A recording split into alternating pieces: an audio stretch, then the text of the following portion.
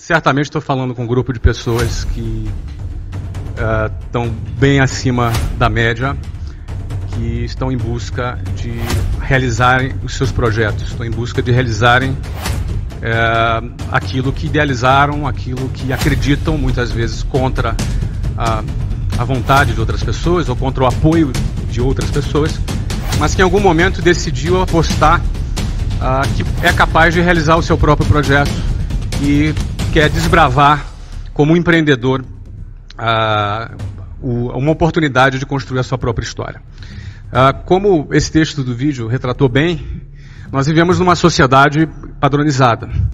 E qualquer iniciativa, qualquer é, tentativa de sair do padrão onde grande parte das pessoas são uh, catequizadas a seguir, a seguirem esse padrão, ela nunca é uma é uma iniciativa que vai ser bem vista ou muitas vezes apoiada por muitas pessoas. Justamente porque qualquer iniciativa que saia de um determinado padrão, ela, ela é vista com certa estranheza, muitas vezes como muito boa para ser verdade e por aí vai.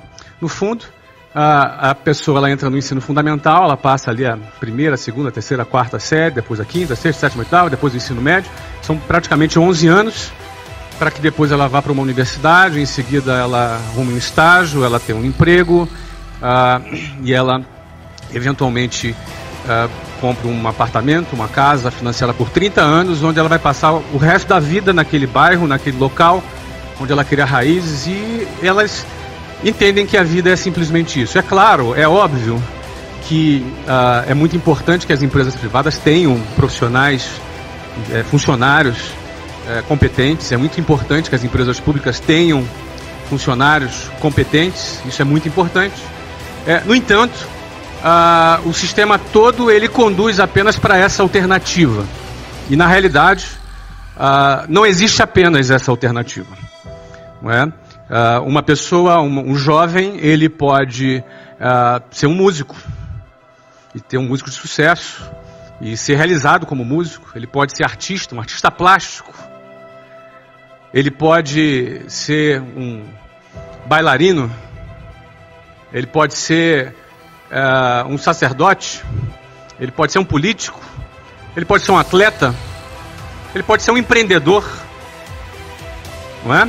Ou seja, as alternativas dentro da sociedade são muitas.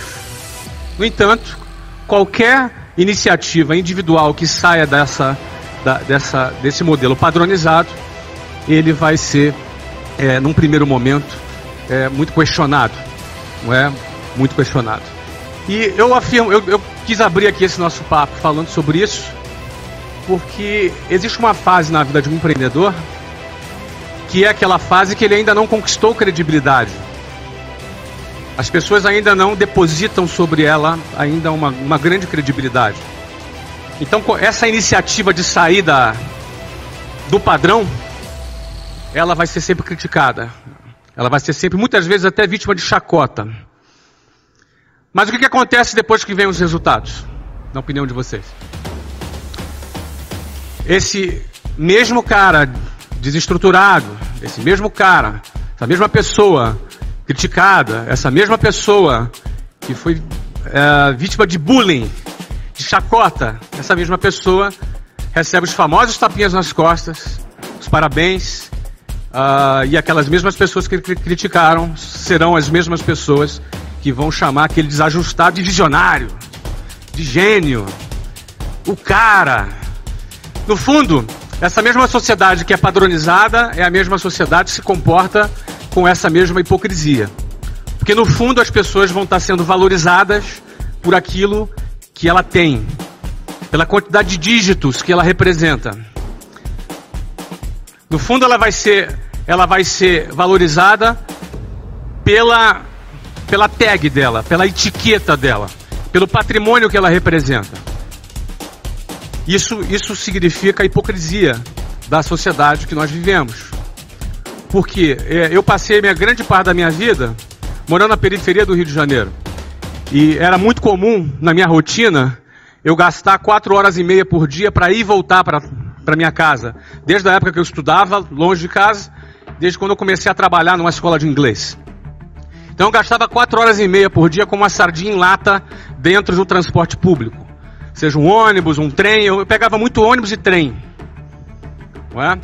E esse público que frequenta os transportes públicos no Rio de Janeiro é visto com preconceito, gente desqualificada, uma massa sem perspectiva. É? No fundo, quando, da mesma maneira que num determinado momento, para ter um talão de cheque no banco, eu quase que me ajoelhava para pedir para um, um, gerente do banco, quase que pedia, pelo amor de Deus, me dê um talão de cheque. É? Ah, os mesmos bancos hoje me procuram para me pagar almoço. Antes eu não tinha dinheiro nem para pagar almoço. Não é? Hoje eles me procuram para pagar almoço. Não é? Então é, é importante entender que é, é desse jeito que funciona, é dessa maneira que é. Você não é nenhum coitado se você está sendo desacreditado, se você está sendo uma pessoa que não está sendo incentivada, que não está recebendo de, eventualmente algum apoio. Não é? é? É desse jeito que funciona. Quando nós entendemos que é dessa forma que funciona, é dessa maneira que, que, que o jogo funciona na sociedade, nós temos um projeto em mente, nós temos um propósito em mente, entender que é desse jeito que funciona, entender que é dessa maneira mesmo que a sociedade se comporta, te dá força para atravessar o momento do início quando você ainda não conquistou a sua credibilidade. Só que no dia que você vencer e que todo mundo puxar seu saco, e que no dia em que as pessoas passarem a te dar valor, não é que o teu valor aumentou. O meu valor é exatamente o mesmo de hoje do que quando eu estava dentro de um ônibus lotado, dentro de um trem lotado, quando o trem dava pau, não sei como é que fala aqui em São Paulo, lá no Rio a gente falava, a gente falava que o trem avariava.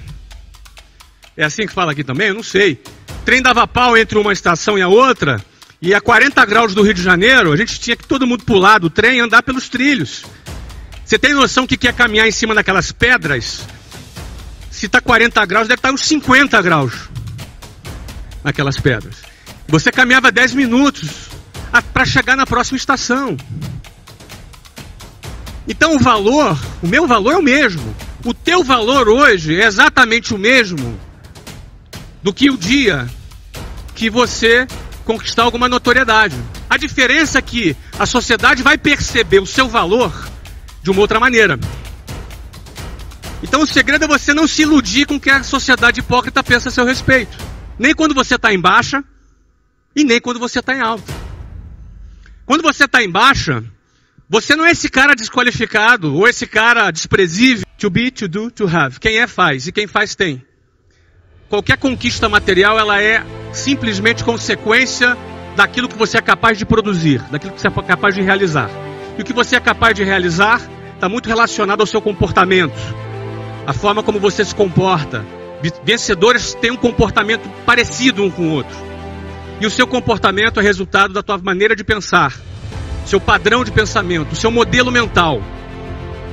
Então, a, a, uma boa parte de educação voltada para o sucesso está relacionada em reestudar a maneira de você pensar, a maneira de você encarar a vida, os hábitos que a gente recebeu, porque nós nascemos nessa sociedade, às vezes numa família que tinha outros hábitos, não é?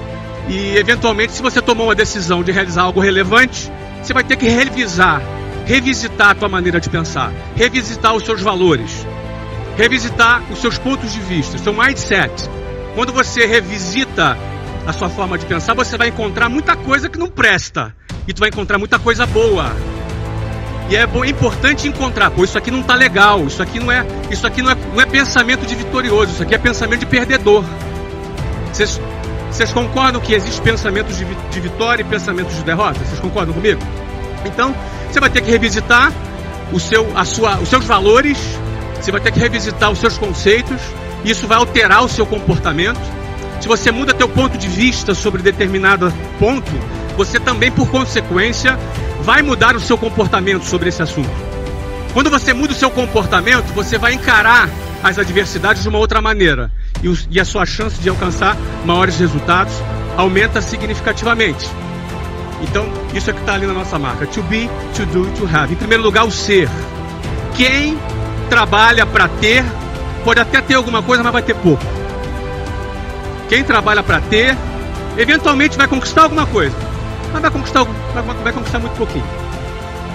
Agora, quem é, faz. E quem faz, por consequência, tem. E o valor dele não está naquilo que ele tem.